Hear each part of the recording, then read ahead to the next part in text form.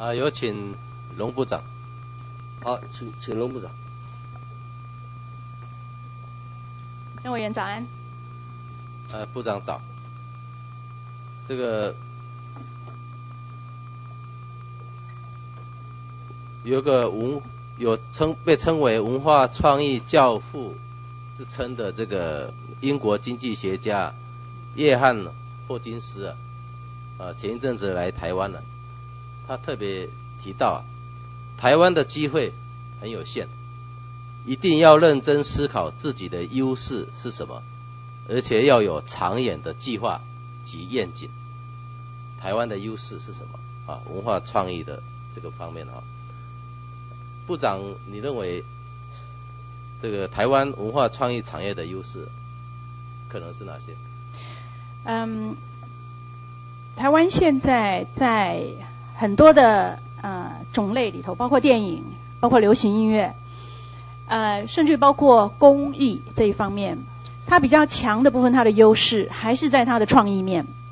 它比较弱的部分是你从创意面出发，然后到最后进入市场，然后变成产值，也就是文化的价值变成产值，中间有很多的工业的环节，这个环节比较弱。部长，可能我没有讲得很清楚，我已经问的是台湾的文化创意产业的优势了啊，我再给你一点这个提示好了，霍金斯他他特别提到啊。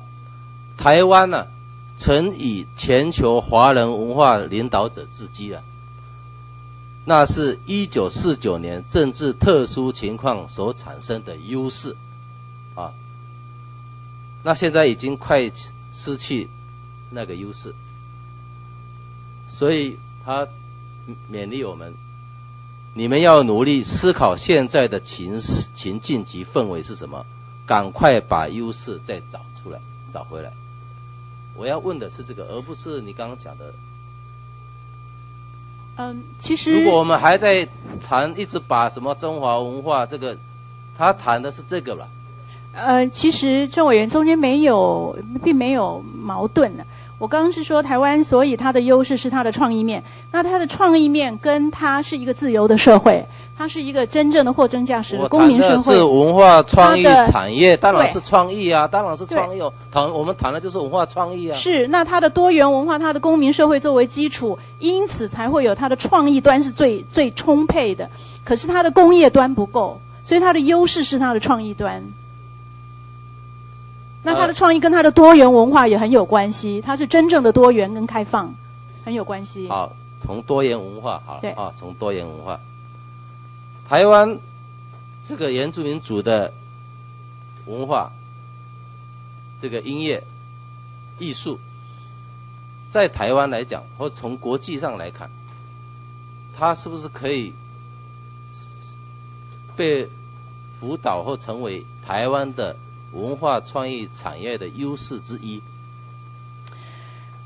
郑委员，理想上，我觉得原住民的文化。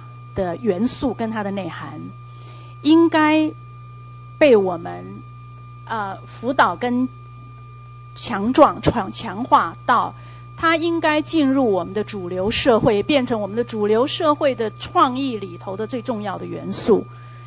嗯，那这个帮这个部分我觉得不够，我们做的不够。那它比较弱的部分呢，是你比如说我们在长期的在辅导，说台东的原住民部落区的。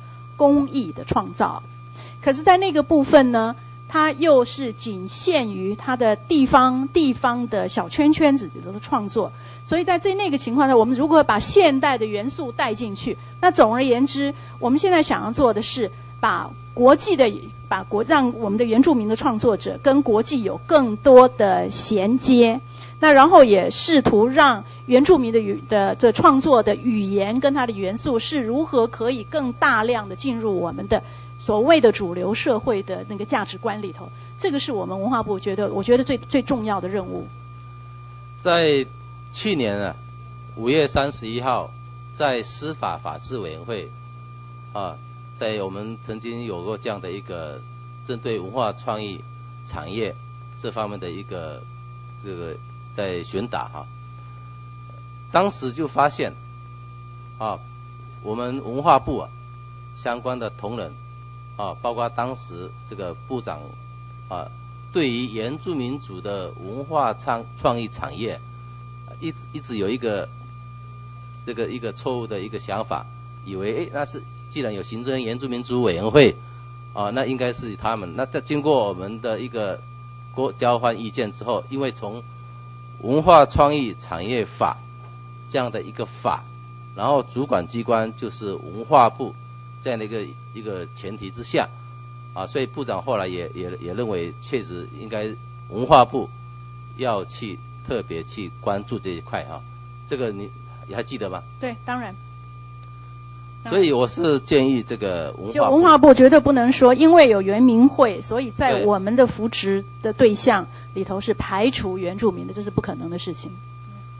所以在文化部在推动这个文化创意产业，当然你们之前有这个第一期、第二期的计划哈，那第二期的计划即将在这个年度啊就要结束了，你们有没有一个后续的相关的中长程计划？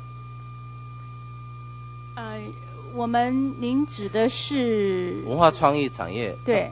你们本来有一个第一期、第二期的计划，那第二期计划到今年度要结束了嘛？是。你们有没有一个新的？我知道您的意思，有的。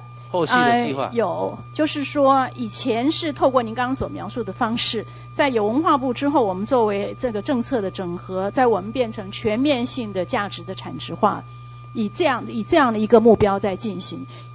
在这样的一个。中长程计划是不是这个？我建议哈，文化部要特别针对原住民族的文化创意产业，要有一个辅导，要有一个培力，啊，要有一个协助，啊，尤其是相关预算的一个啊框列，然后协助去推动。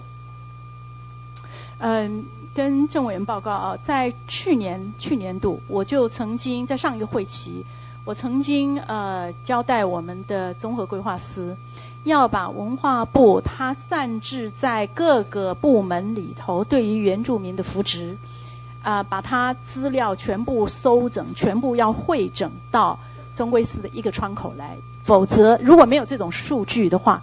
你根本不知道你对于原住民的辅助有多还是少，或者是偏到哪里去了。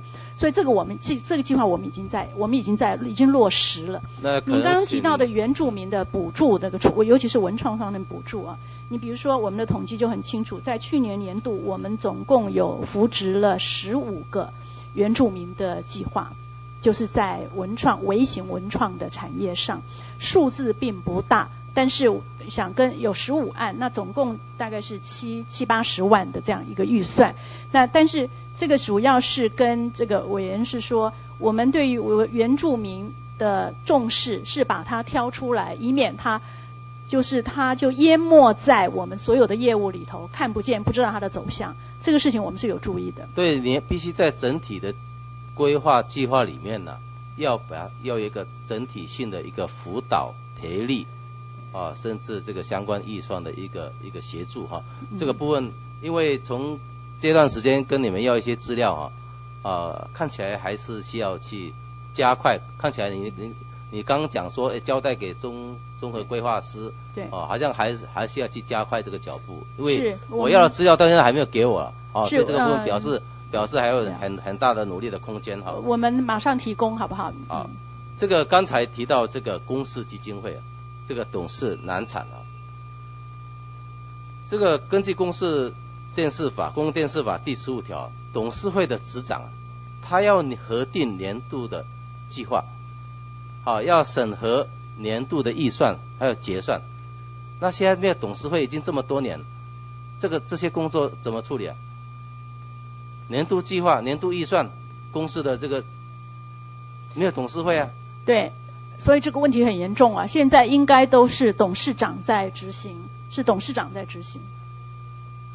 这个因此，郑委员，我同意，像董事会无法产生，我们是一个笑话。因为我们原原住民族电视台啊，也受到很大很大的影响。对。因为国家的政策、国家的法律是要把原民台移给这个原住民文化事业基金会啊，但是现到现在为止都还没有移过来。它也被卡在这个程序里头，对。啊所以这个部分呢，这个既然啊董事长可以前前处理这个这个事情了，有关原住民族电视台移播到这个原住民族文化事业基金会，这个董事长是不是也可以做决定？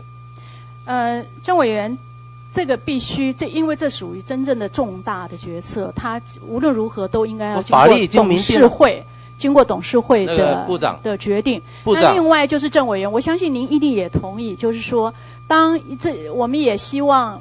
就是圆明台，当它呃重新运转的时候，它的内容是好的。部长，因为这是可能可能你不是很了解相关的法律啊，回去部长还有我们司长啊，在整个好好的去就原住民族教育法、就原住民族基本法、就财团法人原住民族文化事业基金会的设置条例这三个法，好好的研究。国家的政策、国家的法律已经明定，这个基金会原住民文化事业基金会它的成立就是要经营管理原住民族电视台，怎么可以还要受制于别的一个董事会？啊，这个部分这个这个很清楚嘛。如果是你的话，你怎么说？我还要说到别的基金会的董事会？哦，然后因为他没有难产，哦，就从法制面，就从法制面来去看这个事情。啊，你们回去研研究好不好？可以，好。好，接下来啊，这个文化资产保存法这个第五条啊，特别规定，文化资产跨越两个以上的直辖市、县市辖区的时候，这个其地方主管机关所在地直辖市、县政、县市主管机关上定商定。如果跨越的话，有两个县跨越两个县的话，两个县要协商了哈。必要时得由中央主管机关协调指定哈。在屏东啊，屏东在去年一月公告了一个西海观音比自然保留区了，它就是所谓的阿郎伊古道啊，阿朗伊古道，他要指定他的，他有他四个理由啊啊啊三三个理由来指定，但是台东这边有不同意见了，第一个。屏东没有去协商，啊，没有依文资法第五条去协商这个台东，啊，然后这个报道这个后来送到行政院，文化部的前身文建会在今年去年呢、去召开相关的会议，不参加，然后又怎么样？书面意见，然后这个又所提的书面意见又违反这个文资法，文化部要基于啊。啊，完再再二十秒啊！文化部要基于这个阿朗伊古道，它不是只有在屏东县的辖区啊，它是跨越到台东县，怎么可以非常消极的说，哦，他因为你屏东县他自己公告就好了，哦，你应该如果他真的是符合这个自然景观，你文化部要基于主动中央的的立场。对不对？你要协调嘛，而不是说啊，我屏东县他他愿意公告就好了，那台东县不愿意公告，你要去协调啊，而不是说难道自然景观他就切断了吗？郑委员，第一个我赞成，你们回去再我们文资局一定要更积极，我赞成。第二个，因为它是自然地景，所以是归农委会好，但是我们应该更积极。但是主管机关好谢谢是你们的，好文化部的那个郑委员文文字法时间到，谢谢。好，谢谢。